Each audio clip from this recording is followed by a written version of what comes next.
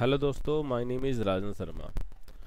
दोस्तों, जैसा कि आप स्क्रीन पर देख रहे हैं कि मैंने यहाँ पर एक सीट बना रखी है, जिसके अंदर कुछ सीरियल नंबर्स लिखे हैं, कुछ यहाँ पर एम्प्लॉयज़ नेम है, और यहाँ उनके जेंडर और ये उनकी सैलरी है। क्लियर अगर अगर मैं आपको ये कहूँ कि इस डेटा के अंदर से टॉप थ्री जो सैलरीज़ हैं उनको आपका टोटल जो है सम जो है, मुझे निकाल कर दिखाना है कि टोटल जो सम है, तीन सैलरी का वो कितना है। या मान लीजिए पर्टिकुलर दो सैलरी जो है मतलब टॉप टू जो है, जैसे मान लीजिए पच्चीस हज़ार, छब्बीस हज़ार जो है, ये टॉप टू हैं। सॉरी सत्ताईस हज़ार और छब्बीस हज़ार जो है, ये देखिए टॉप सैलरीज हैं। ठीक है, इन दोनों सैलरी का सम क्या होगा? या मान लीजिए मैं बोलूँ कि टॉप थ्री बताइए, जैसे सत्ताईस हज़ार, छब्बीस हज़ार, पच्चीस हज़ार, ये तीन है। तो इन तीनों का टॉप थ्री जो सैलरी है, इनका सम क्या होगा? या टॉप फोर का या फाइव का टेन का, जो भी आपको सम देखना हो, अगर वो फाइंड करना हो तो आप कैसे करेंगे? तो एक तो सिंपल तरीका ये होता है हमारे पास कि अगर मान लीजिए छोटी सी एक सीट है, उसमें से अगर आपको टॉप टू या टॉप थ्री निकालना है तो आप इजीली इजकल टू लगाएँगे, उस सैलरी पे क्लिक करेंगे, जैसे पच्चीस हज़ार जो है, वो एक सैलरी है, छब्बीस हज़ार दूसरी, और जो तीसरी सैलरी है, वो है सत्ताईस हज़ार, इस पर क्लिक किया। अब देखिए सत्ताईस, छब्बीस और पच्चीस, ये टॉप थ्री सैलरी है। इसके बाकी जितनी भी सैलरीज हैं, वो इन तीनों से कम है। देखिए, पंद्रह, अठारह, सोलह, बीस, उन्नीस, चौदह जो है, ये इनसे कम है। ये टॉप थ्री सैलरीज है। एंड एंटर करेंगे। तो देखिए, ये टॉप थ्री सैलरी जो है, वो अठहत्तर हज़ार रुपये है। तीनों टॉप थ्री का वो यहाँ पर निकल गया है। इसी तरह से अगर टॉप टू फाइंड करना होता तो आप दोनों को सिलेक्ट करते, कर लेते। लेकिन ये जो है, एक ये लंबा प्रोसेस है। अगर एक बहुत बड़ी सैलरी बहुत बड़ी डेटा हो, आपके पास बहुत बड़ा डेटा हो सॉरी और उस डेटा के अंदर से आपको टॉप टू सैलरीज या टॉप थ्री सैलरीज या टॉप फाइव सैलरीज का जो सम है, वो निकालना है। तो आप कैसे निकालेंगे? क्योंकि अगर आप यहाँ तो देखिए दस लोग हैं तो आपने ईजिली फाइंड आउट कर लिया कि टॉप थ्री आपने ऐड कर लिया। लेकिन अगर मान लीजिए हंड्रेड एम्प्लॉयज़ का डेटा होता, उसके अंदर से आपको टॉप थ्री फाइंड करना हो तो बहुत टाइम लगता है। इस चीज़ को करने में। लेकिन मैं आपको आज एक ऐसा फ़ंक्शन बताने जा रहा हूँ, जिसके थ्रू आप कितनी भी बड़ी डेटा हो, उस डेटा के अंदर से टॉप थ्री या टॉप टू सैलरी जो है, वो ईजिली फाइंड आउट कर सकते हैं।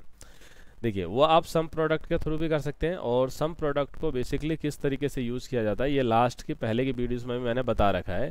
ठीक है, अगर आपने वो वीडियोस नहीं देखी हैं तो वो आप वीडियोस देख लीजिए तो आपके बहुत सारे डाउट्स जो हैं, वो क्लियर हो जाएँगे।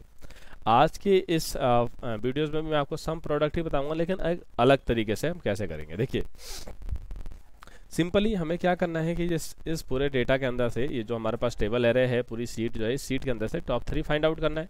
तो एक तो ये नॉर्मल तरीका है जो मैंने आपको बताया, ठीक है, जो लेंदी है, मैं आपको एक स्मार्ट तरीका बताने वाला हूँ, जिससे आराम से ये काम हो जाएगा। सिंपली आपको करना यह है कि आप अपने कीबोर्ड्स के अंदर मतलब सिंपली इजिकल टू टाइप करेंगे एंड इजिकल टू टाइप करने के बाद आपको सिंपली लगाना है सम प्रोडक्ट एंड उसके बाद आप लगाएँगे टैप से ब्रैकेट सम प्रोडक्ट लिखने के बाद देखिए, यहाँ पर एक ऑप्शन आता है आपके पास array one array two array three इस तरीके से ऑप्शन आ रहा है। तो इसमें आपको कुछ नहीं करना है, सिंपली आप यहाँ पर एक नंबर टाइप करेंगे, जिसे हम कहेंगे लार्ज फ़ंक्शन लार्ज लगाएँगे लार्ज लगाने के बाद आपसे पूछता है एरे एरे में आपको क्या करना है कि जो सैलरी है आपकी इस सैलरी को सिलेक्ट कर लेना है सिंपली सैलरी को सिलेक्ट करने के बाद आपको लगाना है यहाँ पर कोमा क्लियर है? कोमा लगा लिया। अब कोमा के बाद देखिए यहाँ पर एक आ, आ, हिंट दे रहा है आपको के के के अंदर क्या है कि आप जो ये डेटा है देखिए सम प्रोडक्ट क्या करेगा? सम करेगा इनका। और लार्ज का मतलब क्या है कि इस सैलरी के अंदर से लार्ज मतलब कि जो तीन है सैलरी उसको फाइंड आउट करना है, इसलिए हमने लार्ज नंबर लिखा है। लार्ज का मतलब इन तीन में से वो लार्ज फाइंड करेगा। लार्ज कितने फाइंड करने? एक, दो या तीन। उसको आपको करली ब्रैकेट के अंदर, अपने कीबोर्ड में आप लगाएँगे करली ब्रैकेट एंड उसके बाद आपको टाइप करना है one and simply comma and second comma and third अब देखिए वन टू थ्री का मतलब क्या हो गया कि इसके अंदर से टॉप थ्री फाइंड करने हैं। अगर आपको टॉप फाइव फाइंड करने हैं तो आप कोमा लगा के इसको आगे बढ़ा लेंगे, जैसे फोर कोमा फाइव ठीक है टॉप टेन देखने तो इसी तरह से आप कोमा लगाएँगे six comma seven comma eight इस तरीके से, ठीक? फ़िलहाल मैंने जो है यहाँ पर दस लोगों का ही डेटा बनाया है, इसलिए मैं आपको इसमें से सिर्फ़ टॉप थ्री निकाल के दिखाऊँगा। और आप प्रैक्टिस करिएगा, इसको दो जैसे टॉप टू निकालने हैं तो आप दो नंबर तक लगाना, आप टॉप फोर या टॉप फाइव निकालना है तो आप उस हिसाब से डेटा को अप्लाई करना है, ठीक है? ये हो गया वन टू थ्री लिख लिया हमने तो इसका मतलब वन टू थ्री का मतलब इसमें से टॉप थ्री बताएगा हमें कि टॉप थ्री क्या है। एंड उसका सिंपली आपको करली ब्रैकेट लगाना है। करली ब्रैकेट लगाने के बाद आपको टू टाइम ब्रैकेट क्लोज करना है। टू टाइम ब्रैकेट क्लोज करने के बाद आपको सिंपली एंटर प्रेस कर देना है। एंटर करते ही आप देखेंगे यहाँ पर आपको जो है अठहत्तर हज़ार जो है यहाँ पर अमाउंट आ गया है। जो आपने यहाँ पर मैनुअली करके अभी देखा था हमने तो यहाँ पर अठहत्तर हज़ार अमाउंट जो अमाउंट था, वो आया था और सेम ये सम प्रोडक्ट के थ्रू भी यहाँ पर डेटा हमारा शो हो गया।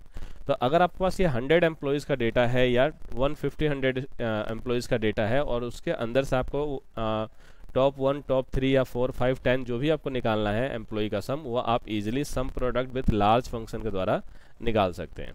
आई होप कि आपको ये क्लियरली समझ में आ गया होगा कि sum product with large function का यूज़ हम किस तरीके से करते हैं। अगर आपको इस वीडियो से रिलेटेड किसी भी तरीके का कोई भी डाउट्स है या कोई क्वेश्चन है तो आप मुझे सिंपली इस वीडियो का कमेंट सेक्शन में नीचे कमेंट करके बता सकते हैं। मैं जब भी आपको डाउट्स को देखूँगा या आपके क्वेश्चन को, उसका जल्द से जल्द रिप्लाई करने की कोशिश करूँगा।